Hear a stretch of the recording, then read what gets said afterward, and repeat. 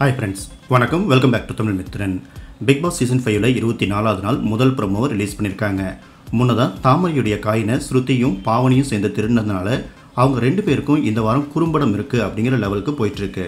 மேலும் big pass வீட்டை கிராமம் நகரம் அப்படின்னு பிரித்து லக்ஸரி பட்ஜெட் டாஸ்க் கொடுத்துருக்காங்க. இந்த டாஸ்க் ஆரம்பித்த கொஞ்ச நேரத்திலேயே நேற்றைய எபிசோடை முடிச்சிட்டாங்க.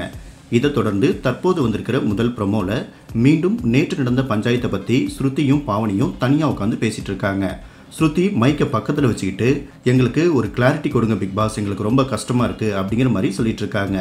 அடுத்து பாவனி என்ன சொல்கிறாங்கன்னா நேற்று ராஜு வந்து முதல்ல கேள்வி கேட்டது நாங்கள் தான் காயினை எடுத்து கொடுத்தோம் அதை கொடுங்க அப்படின்னு கேட்டார். அது தப்பு.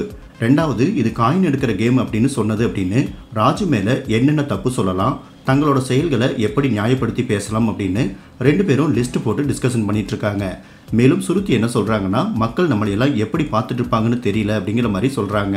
இதுக்கு பாவனி என்ன சொல்றாங்கன்னா இங்க நல்லவங்கன்னு யாருமே கிடையாது. இது வெறும் விளையாட்டு தான் அப்படிங்கிற மாதிரி சொல்லிட்டு இருக்காங்க ஸோ சுருத்தியும் பாவனியும் சேர்ந்துக்கிட்டு இவங்க பண்ணதுக்கு மற்றவங்க மேலே என்ன குற்றம் சொல்லலாம் மற்றவங்க மேலே எப்படி பழிய திருப்பி விடலாம் அப்படிங்கிற மாதிரி எமோஷனல் ட்ராமா தான் பண்ணிட்டு இருக்காங்க பாவனிக்கு சொல்லவே வேணாம். அவங்க எப்போ நினைச்சாலும் அழுதுட்டு ஒரு ட்ராமா பண்ணிகிட்டே இருப்பாங்க. ஸ்ருதிக்கு பாவனியுடைய குணாதிசயம் தாக்கியிருக்கு. ரெண்டு பேரும் அவங்க செஞ்ச விஷயங்களை விட அதை நியாயப்படுத்த ஒவ்வொரு பொய்யா பேசி பேசி தற்போது ஒரு மூட்டை பொய்யா சேர்ந்திருக்கு.